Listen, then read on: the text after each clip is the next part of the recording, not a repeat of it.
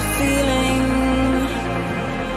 that's got me falling to my knees. It's a whisper, a singing.